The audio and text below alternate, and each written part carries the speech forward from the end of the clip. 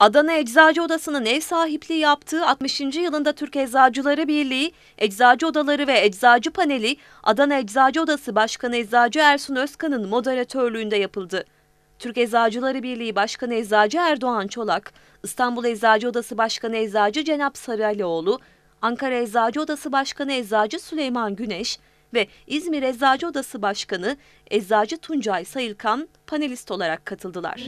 Ne olacak bunlarla ilgili açıklama yaparsanız çok seviniriz. Tekrar Panelin açılış konuşmasını ev sahibi olarak Adana Eczacı Odası Başkanı Eczacı Ersun Özkan gerçekleştirdi.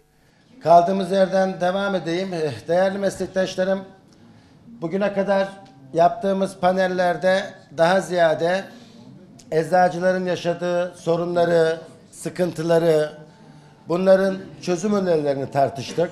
Kim- Panelin ilk konuşmasını yapan Eczacı Tuncay Sayılkan, geçmişe göre daha kapsayıcı bir Türk Eczacıları Birliği yönetiminin olduğunu, görüşmelerin daha şeffaf olduğunu dile getirdi.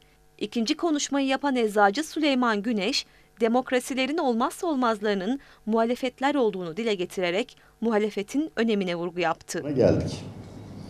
Günümüzde de siyasi erkin almış olduğu karar yerli ilaç sanayinin yabancılaşmasına doğru gidilen bir süreç ve şu anda herhalde bir elin parmakları sayısı kadar yerli ilaç sanayinin olduğu bir devirdeyiz.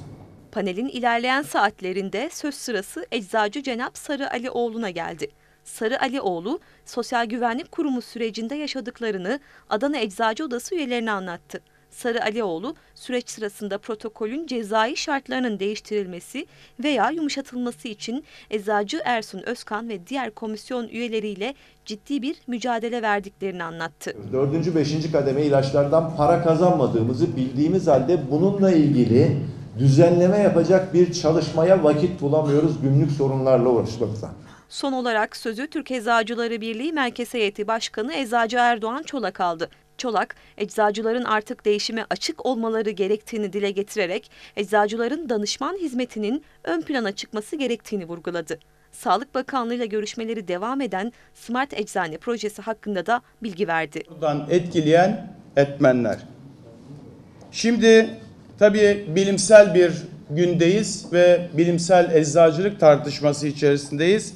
Bunu bir bilimsel bakış açısıyla ele alma zorunluluğumuz var.